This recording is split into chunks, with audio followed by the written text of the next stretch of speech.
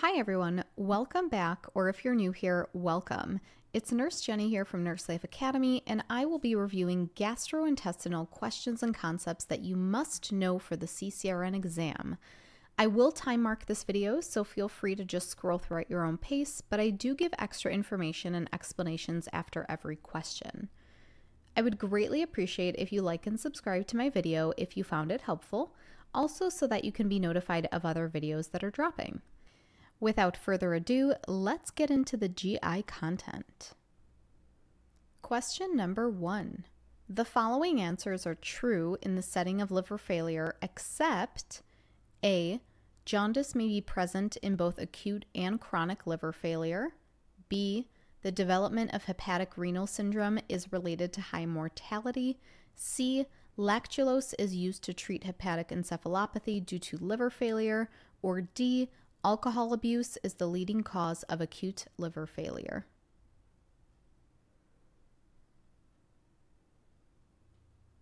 And the answer here is D. Alcohol abuse is the leading cause of acute liver failure. This is because alcohol abuse is the leading cause of chronic liver failure, but the leading cause of acute liver failure is acetaminophen and all of the other answer choices are true. So let's talk a little bit about the liver and what it does. The liver filters medications and it filters toxins. Most significantly, it filters ammonia or NH3.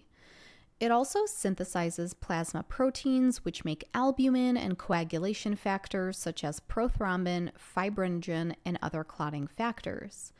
Now, acute hepatic failure is characterized by the inflammation of the liver, hepatic necrosis with significant destruction of hepatic cells, encephalopathy due to ammonia accumulation, and jaundice due to increased bilirubin.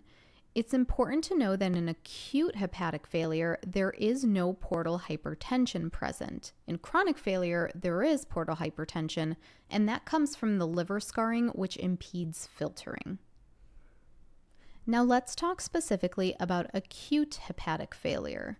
The most common cause of acute hepatic failure is acetaminophen overdose. And whether or not it's an intentional overdose or it's an unintentional overdose, sometimes that can happen in chronic supratherapeutic acetaminophen use. It can certainly cause hepatic problems either way. Other causes of acute hepatic failure can be viral in nature. They can include acute hepatitis, autoimmune hepatitis, or they can be toxin induced. Any of these causes, but specifically acetaminophen overdose, can lead to fulminant hepatitis, and that simply means that it is severe and sudden in onset.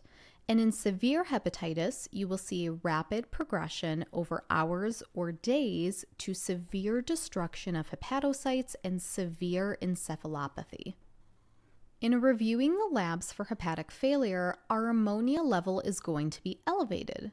And the ammonia level tells you how well the liver is filtering. And in liver failure, it's not doing a good job. So that ammonia is going to build up. Your liver enzymes, AST, ALT will be elevated, and our PTINR and PTT will be elevated because remember that the liver makes coagulation factors. But when it isn't working properly, it can't make the prothrombin, the fibrinogen, and those other clotting factors.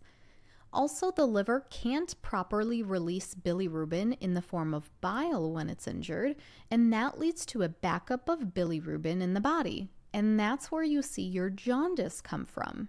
Just a little side note, but scleral jaundice is one of the first places that you will see jaundice visibly.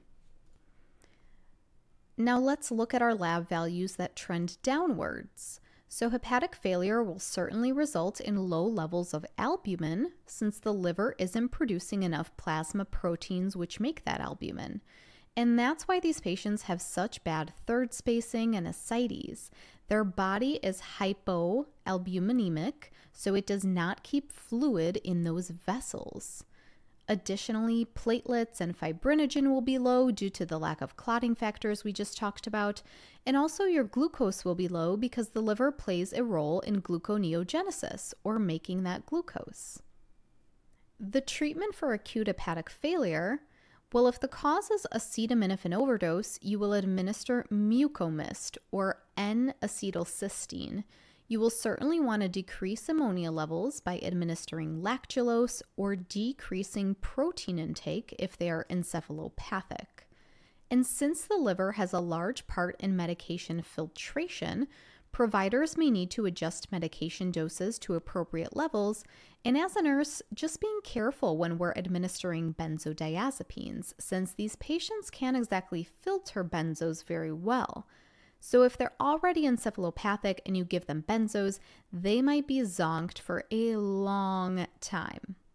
You also may need to administer clotting factors if the patient needs them, because remember, they're lacking those platelets and fibrinogen, and their PTINR and PTT will be elevated. Last but not least, if their hepatic failure is fulminant or if it's severe in nature, they may even need a liver transplant. Question number two Which of the following statements is correct regarding nutritional therapy? A. Parenteral nutrition is preferred over enteral nutrition. B. Hold tube feeding if diarrhea develops. C. Assess the placement of the feeding tube by inflating air and auscultating. D. Avoid bolus feedings in patients who are at high risk for aspiration.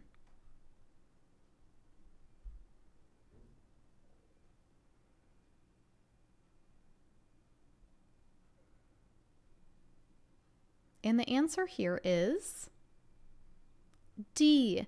Avoid bolus feedings in patients who are at high risk for aspiration.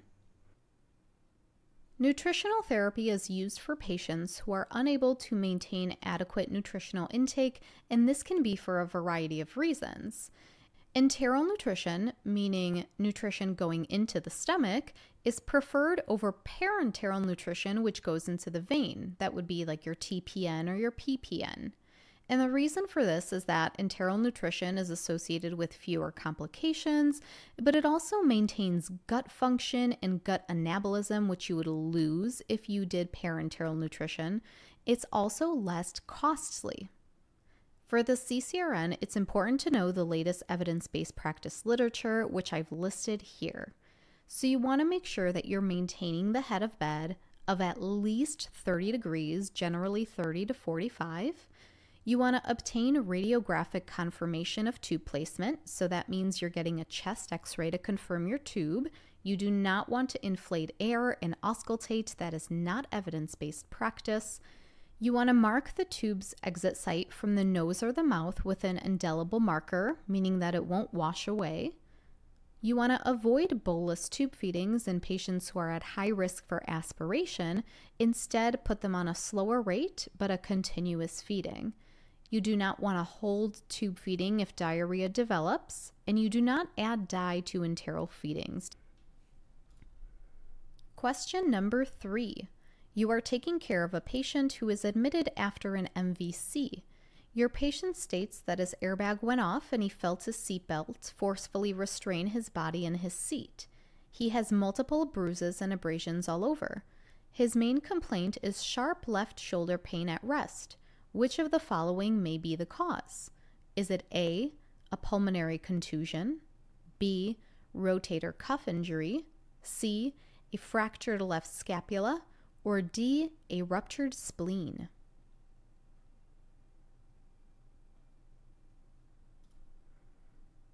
And the answer here is D, a ruptured spleen. So it looks like this patient was in a motor vehicle accident and he potentially sustained internal gastrointestinal trauma. An internal GI trauma may not necessarily be visible, but you have to follow the symptoms and the physical assessment for these patients. So the question says that he has multiple bruises and abrasions all over, and he has this sharp left shoulder pain at rest.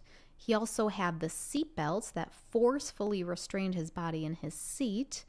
So, this shoulder pain is actually referred pain from a ruptured spleen. So, what we just went through in the last question is described as Kehr's sign. And I know that there are so many signs, so that's why I have all these weird little ways of remembering everything. But for me, Kehr, K E H R, has four letters, and left has four letters, and they both have E's in them. I know it's a tiny detail, but just remember that Kehr's sign results in left shoulder pain due to this diaphragmatic irritation, which most commonly is a result of a ruptured spleen. And so this pain is actually a referred pain. And that means that it occurs when you have an injury in one area of your body, but you feel pain in a different area. And that happens because all of the nerves in your body are part of this huge connected network. And so, in the case of a ruptured spleen and diaphragm irritation, that pain travels upward to the left shoulder. Some other signs you want to look out for for a ruptured spleen include absent bowel sounds and abdominal distension. And if for any reason you hear bowel sounds in the chest, that means that you have a ruptured diaphragm on your hands and your abdominal organs have moved upwards into your chest, which is not good. This will lead to respiratory failure and extremely quick deterioration. So, big takeaway here is that Kehr's sign is left shoulder pain, and this is from diaphragm irritation, most likely due to a ruptured spleen. Question number four. Fluid and electrolyte balance require close monitoring for a patient with acute pancreatitis due to which of the following? Is it A, increased diuresis secondary to pancreatic enzyme release, B, increased incidence of hypercalcemia, C, increased capillary permeability resulting in fluid loss from the vascular space, or D, hypoglycemia due to pancreatic cell destruction.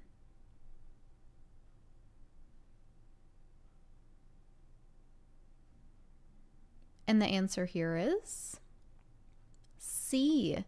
Increased capillary permeability resulting in fluid loss from the vascular space. So, acute pancreatitis triggers a systemic inflammatory response, which results in the release of inflammatory mediators. And this leads to increased vascular permeability or this capillary leak, which results in fluid loss from the vascular space and vasodilation.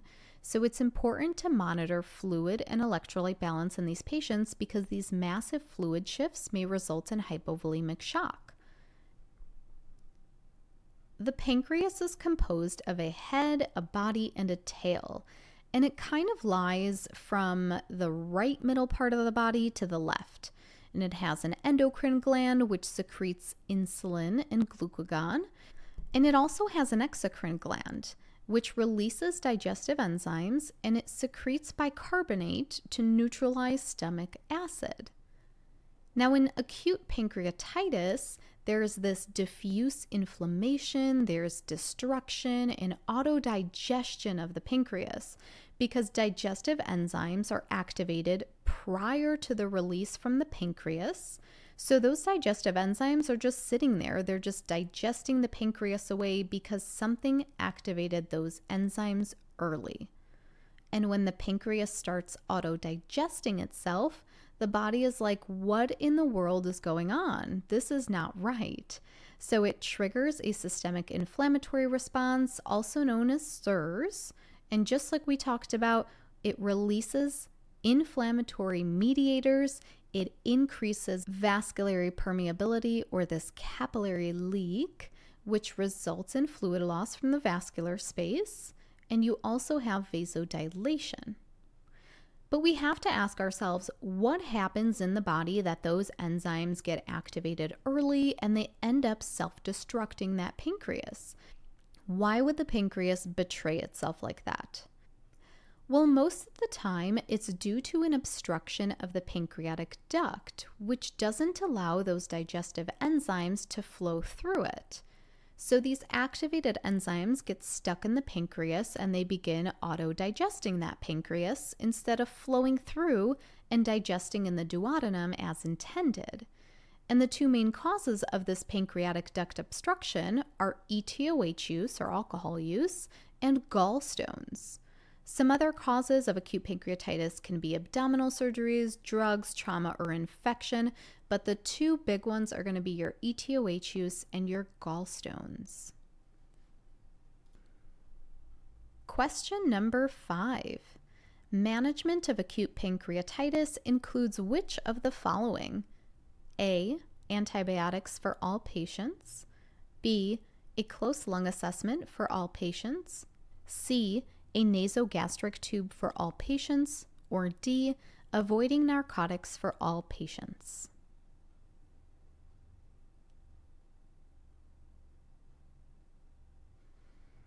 The answer here is B, a close lung assessment for all patients.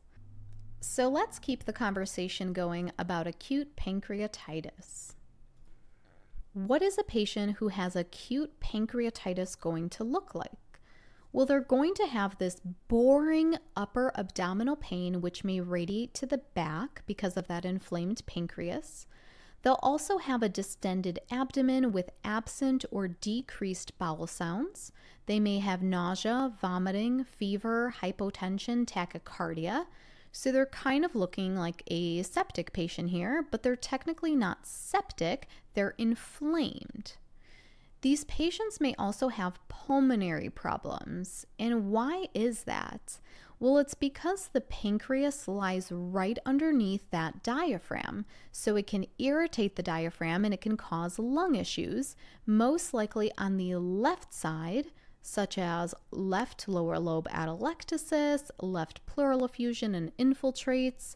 These patients can also have pulmonary edema and crackles because of this inflammatory response, which makes those capillaries become leaky and the patient third spacing fluid. So they can certainly develop ARDS. So make sure that these patients have a close lung assessment and to monitor for signs of respiratory distress. There are a few signs associated with acute pancreatitis due to low levels of calcium, and these are Trousseau's and Chvostek's sign.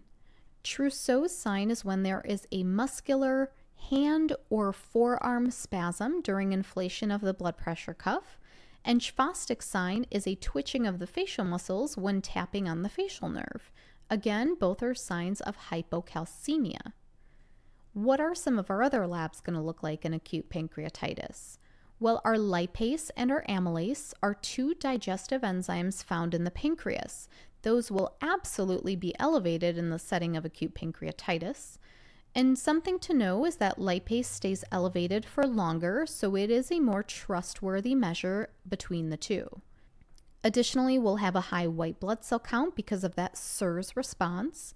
We'll have a high blood glucose due to injury of the pancreatic beta cells. We will have hypocalcemia, and that's because calcium is used up for autodigestion and it also binds with fatty acids from necrotic fat. We'll have a low albumin due to leaky capillaries, and potassium and magnesium will also be low due to malabsorption. Treatment for acute pancreatitis includes fluid replacement. However, you must be careful with fluids as to not worsen their respiratory status, especially if they already have crackles or ARDS. You want to replete their electrolytes, specifically keeping calcium, potassium, and magnesium levels normal. Pain management is going to be important for these patients due to the severity of their pain. They may need an NG tube dissection to decrease gastric secretions and to help rest that pancreas. And we can even start enteral feeding below the level of that duodenum. These patients will need glucose control, so remember they'll be hyperglycemic and will need some extra insulin. And of course, if I may have forgotten to mention how important respiratory status is in these patients, monitor their respiratory status for any acute changes. Question number six Which of the following laboratory findings would be expected in a patient with acute pancreatitis? A. Hypercalcemia and hypoglycemia. B. Hypocalcemia and hyperglycemia. C hypoglycemia and hypocalcemia, D, hyperglycemia and hypercalcemia.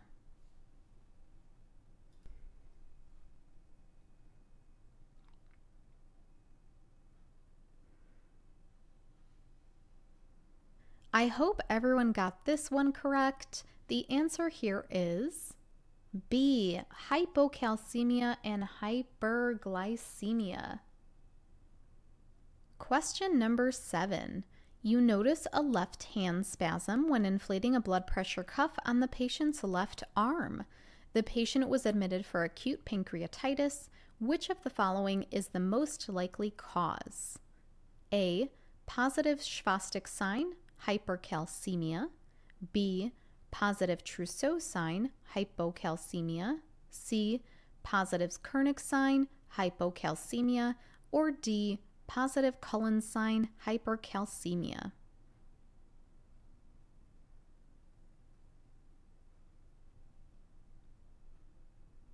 And the answer here is B positive Trousseau sign associated with hypocalcemia.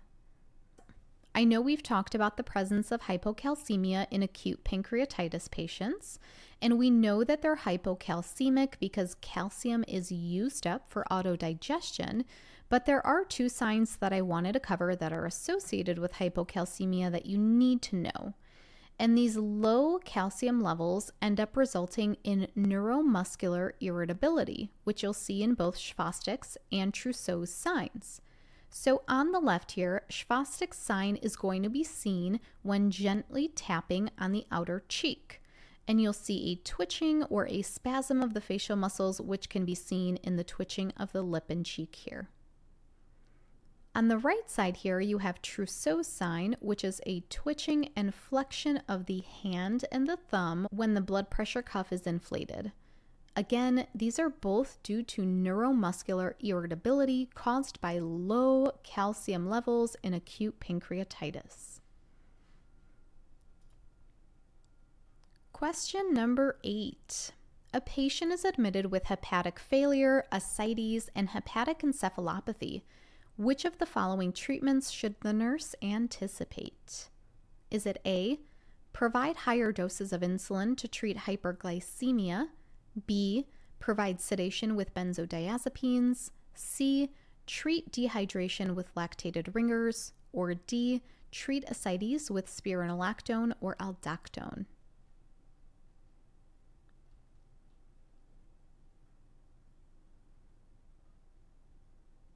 The answer here is D.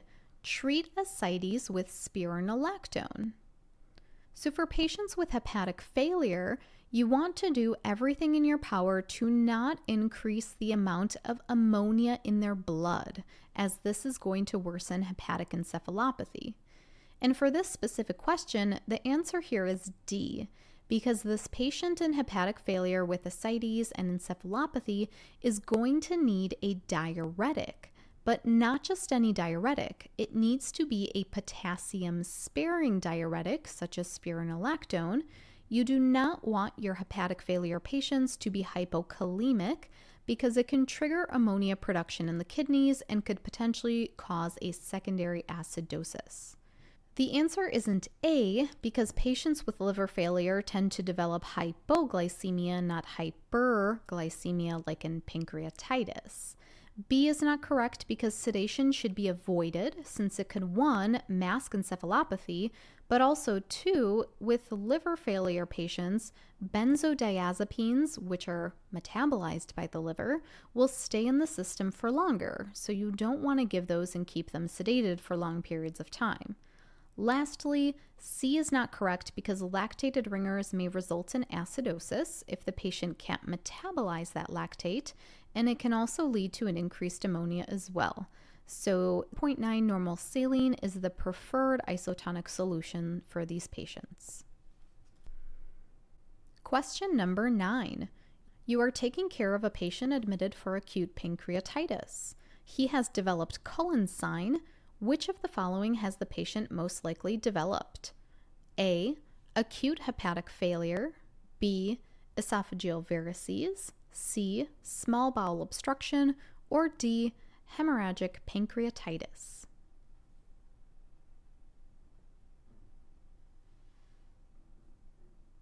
The answer here is D.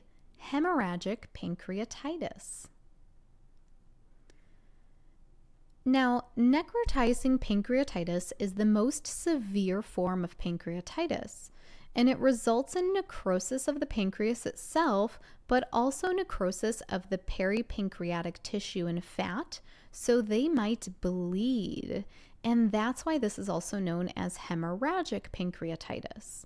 And if they bleed, you may see Cullen's sign, which is that blue discoloration and ecchymosis of the periumbilical area. I like to remember Cullen's sign because they both have a C and a U in them, Cullen's umbilicus, or some people like to remember it if you form a C around your belly button, that's where you'll see Cullen's sign. You may also see Gray Turner sign. If you guys remember, this is a sign of retroperitoneal bleeding.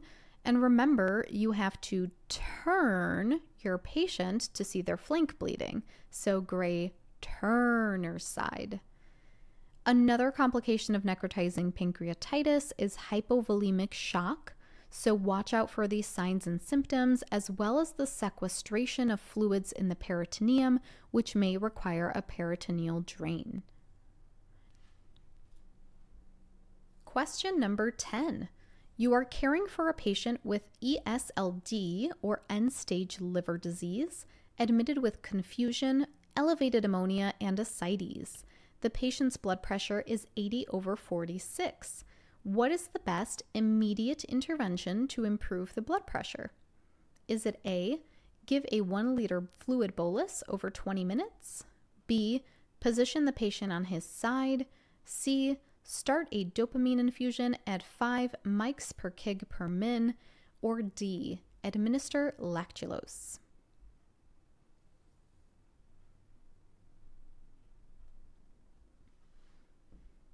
The answer here is B.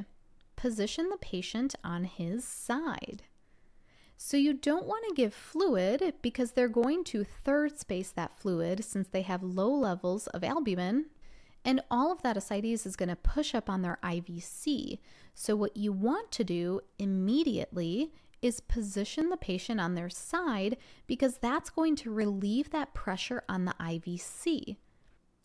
It probably would be a good idea to administer lactulose. However, that is not the immediate intervention for this patient since he is hypotensive.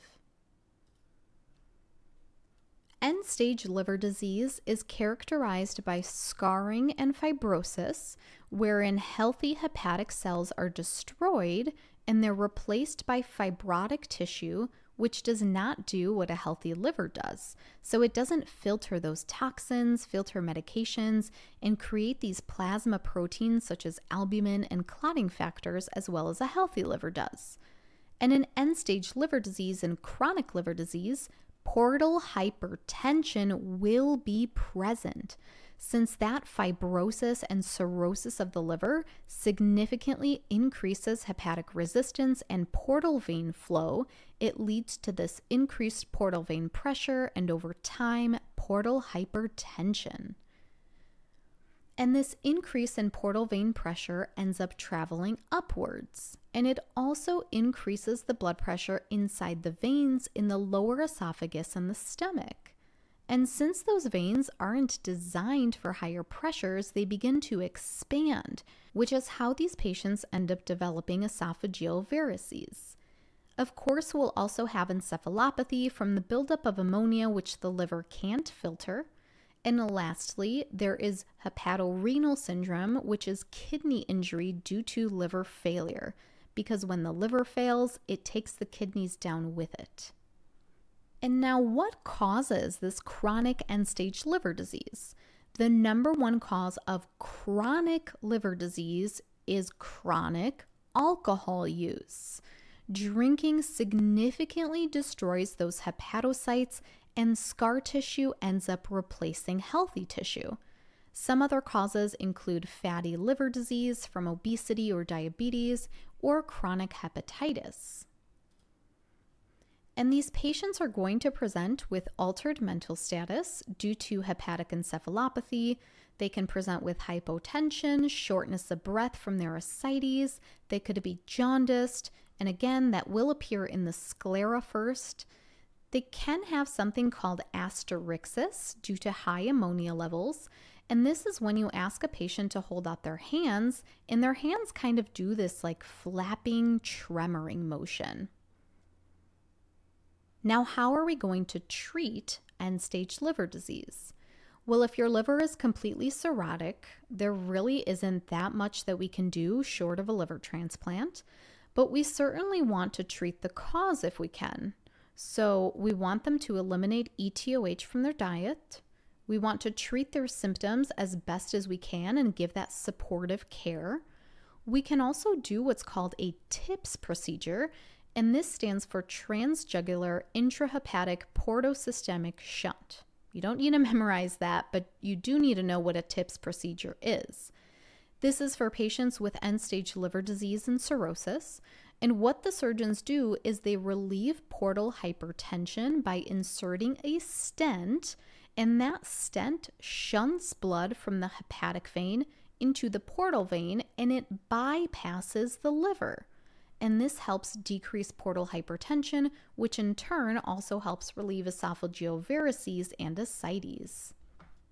These patients will generally have ascites due to the low albumin levels and their portal hypertension.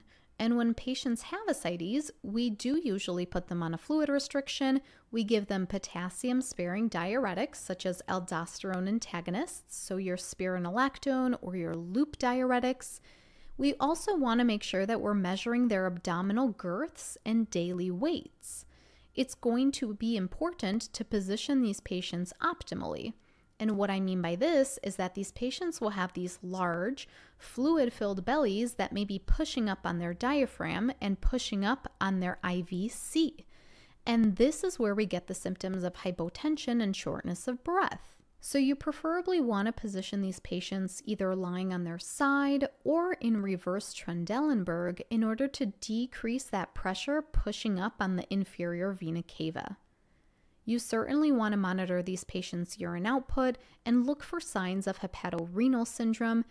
Definitely not a first line treatment, but if needed, you can do a paracentesis, which is a temporary resolution. Most patients in end stage liver failure will need weekly or bi weekly paracenteses in order to keep draining that fluid that accumulates. Question number 11 a patient has a Sengstaken Blakemore tube or an esophageal balloon tube for the treatment of bleeding esophageal varices. Which of the following is specific to the care of a patient with an esophageal balloon tube? Is it A, initiate fluid resuscitation, B, monitor for overt bleeding, C, administer an H2 antagonist, or D, keep scissors at the bedside?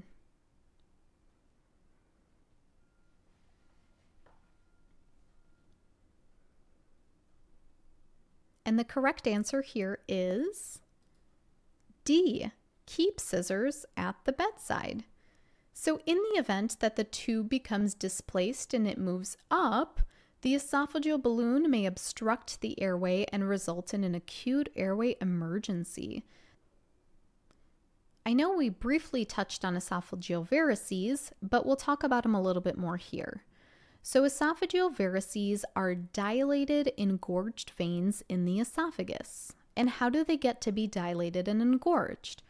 Well, cirrhosis prevents normal drainage through the liver, which results in portal hypertension. And with portal hypertension, those high pressures also back up into the esophageal veins, which is what causes these varices. And if these varices burst, which they have a high likelihood of doing since there's high pressure from that portal hypertension, then you're kind of in trouble. Bleeding esophageal varices can lead to hypovolemic and hemorrhagic shock, so we certainly want to prevent that from happening if we can. Endoscopically, patients can undergo banding or sclerotherapy of varices. And if varices do bleed uncontrollably, we can insert an esophageal balloon, which is pictured on the upper right hand side here. We absolutely want to make sure that we don't forget our ABCs in this patient, and we can begin octreotide or vasopressin, which both are medications that decrease portal venous pressures. However, we do need to use vasopressin with caution for patients with cardiac diseases, specifically coronary artery disease, as it can decrease myocardial blood flow and cause ischemia. So, watch out for ST changes or chest pain. So, an esophageal balloon, also known as a Sengstaken Blakemore tube, basically tamponades or it pushes on and occludes those varices to stop them from bleeding. And for esophageal balloon insertion, the patient will need to be intubated since there's a chance that the esophageal balloon could migrate up and it could occlude that airway. So always keep scissors at the bedside so that you can cut that tube, which would then deflate the balloon and resolve your respiratory distress. Question number 12. Your patient is two hours post gastric bypass surgery. A Roux-en-Y?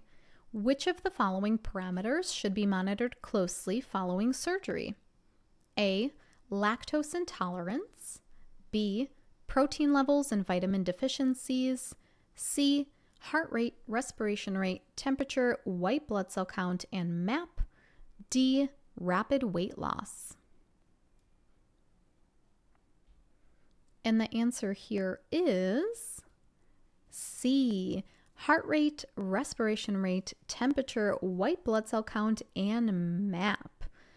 So, with any kind of surgical patients, you absolutely want to watch out for infection, but especially for patients who have undergone gastric bypass surgery, where there are usually two to three anastomoses made in the abdomen.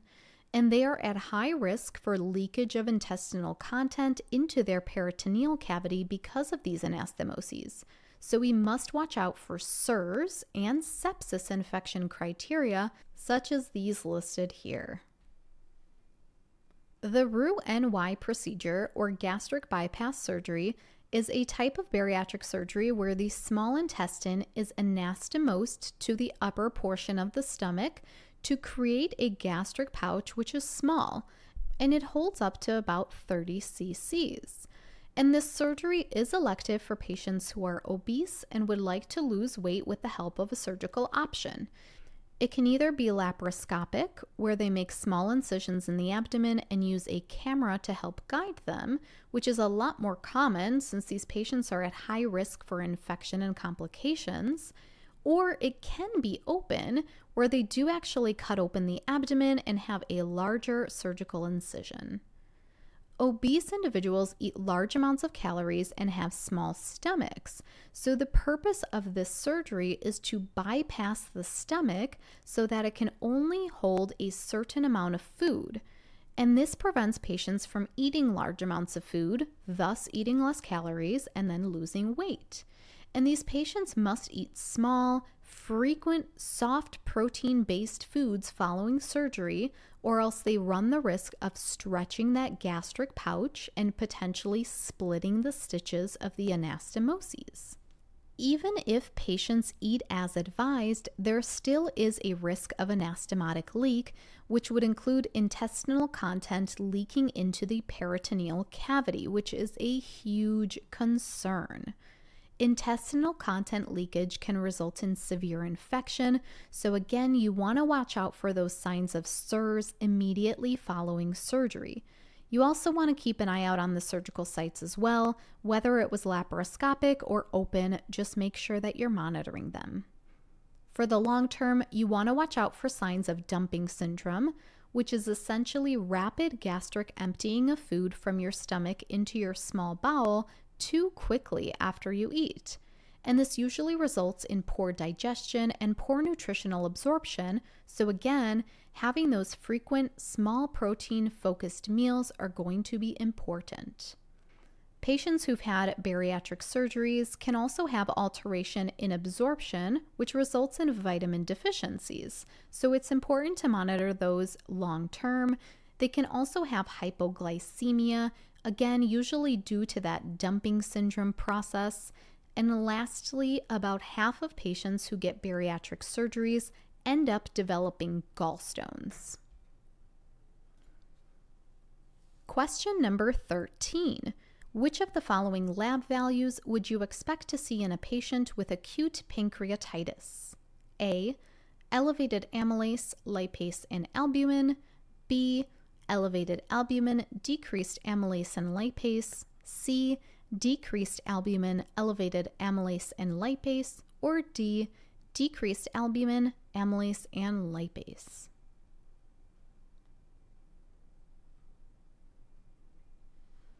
The answer here is C. Decreased albumin, elevated amylase, and lipase. This slide is just here for reference as we've talked about all of this previously. Question number 14. A patient's abdominal assessment reveals a complaint of dull abdominal pain, abdominal distension, low pitched bowel sounds, and a report of a change in bowel habits. This patient most likely has which of the following problems? Is it A, a large bowel obstruction, B, acute pancreatitis, C, small bowel obstruction, or D, acute appendicitis?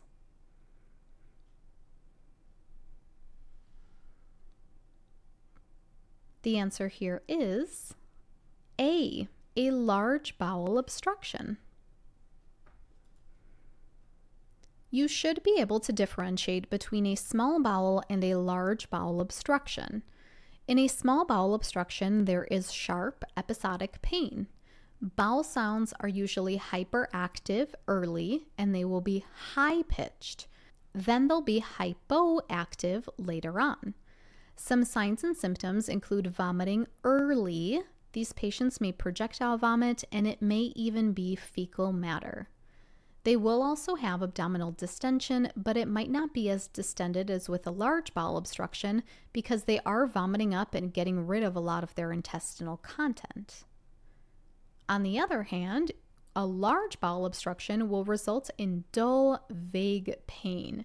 You will see hyperactive bowel sounds, but they will be low pitched. And similar to a small bowel obstruction, both bowel sounds will be hypoactive later on. In a large bowel obstruction, vomiting will occur late, but patients will have a change in bowel habits, so maybe patterns of constipation and diarrhea, and they will also have abdominal distension as well. In both small and large bowel obstructions, if you shoot a KUB, there will be dilated loops of gas filled bowel on both x rays. And when it comes to treatment, the treatment is mostly the same for both. Of course, it certainly depends on the etiology of the bowel obstruction, but as always, you have airway, breathing, and circulation that will be your priorities. You want to give these patients adequate fluids and electrolyte replacements. You also want to treat their pain, probably putting in an NG tube so that you can drain their intestinal contents. And some patients may even need surgery if there is a strangulated hernia or a volvulus or adhesion. Question number 15. Your trauma patient is complaining of generalized abdominal pain. He has abdominal distension, shortness of breath, and decreased urine output. The surgical resident asks you to measure his intra abdominal pressure. You do so and report back that it is 25 millimeters of mercury. Why do you suspect the intra abdominal pressure is 25 millimeters of mercury? Is it A, hepatic failure, B, abdominal compartment syndrome, C, a large bowel obstruction, or D, constipation?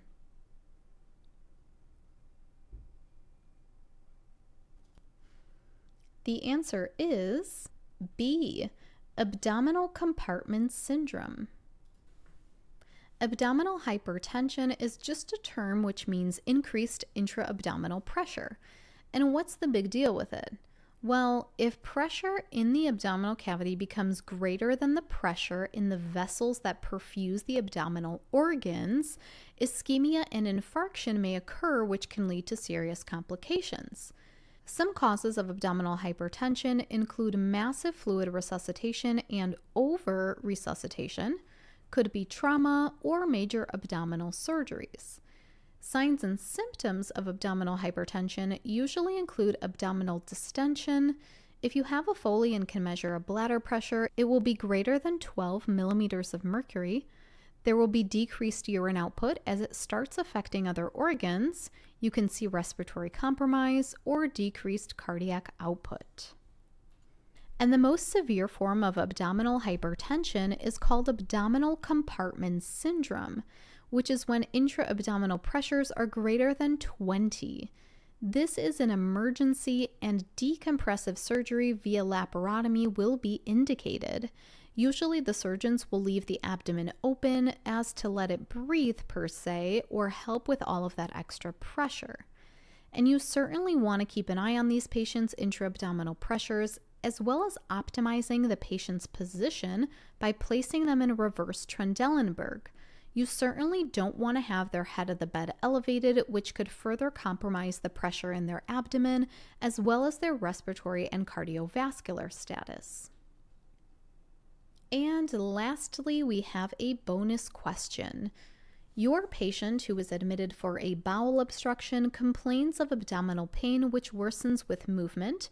He has rebound tenderness, absent bowel sounds, and a KUB with free air in the peritoneum. You would expect the rest of the patient's abdominal assessment to include which of the following A. A rigid abdomen, B.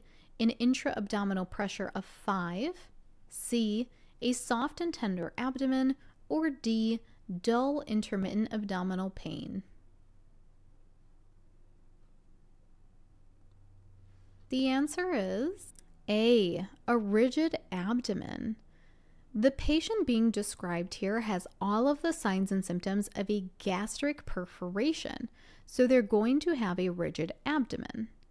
Otherwise, an intra-abdominal pressure of 5 is normal, since normal IAP pressures are 5 to 10. An abdominal pain with a gastric perf is going to be severe. Now, bowel perforation is a rare but serious and even fatal issue and this occurs when there is leakage of gastrointestinal content into the peritoneal cavity. And this leakage of GI content and bacteria leads to an infection and an inflammation of the peritoneum known as peritonitis. Some causes of bowel perforation include bowel obstruction, appendicitis, penetrating wounds, ulcerative colitis, or ulcers. And signs and symptoms that you'll see will include a rigid abdomen, severe abdominal pain, rebound tenderness that increases with movement or coughing. You'll have absent bowel sounds, nausea, vomiting, and free air on a KUB. You will certainly see these patients presenting with symptoms of SIRS, such as tachycardia, tachypnea, fever, and an elevated white blood cell count. The treatment here are again, of course, your ABCs, but this will be a surgical emergency where they will have to do an abdominal washout of all of that leaked gastrointestinal content and they will repair the perforation. Some patients may need a temporary bowel diversion to help them heal, and they usually will have a nasogastric tube to decompression. You'll have fluid, electrolytes, pain control, and antibiotics as part of the treatment plan as well. All right, we have made it to the end. If you liked the video or found it helpful, please like and subscribe to my channel. I would greatly appreciate it. As always, let me know if you have any questions. I would be more than happy to help. Thank you so much for watching and all of your support. If you guys are taking your CCRN soon, you can absolutely do this. So good luck. You've got this. Thanks, guys. Nurse Jenny signing off for Nurse Life Academy. Have a good one.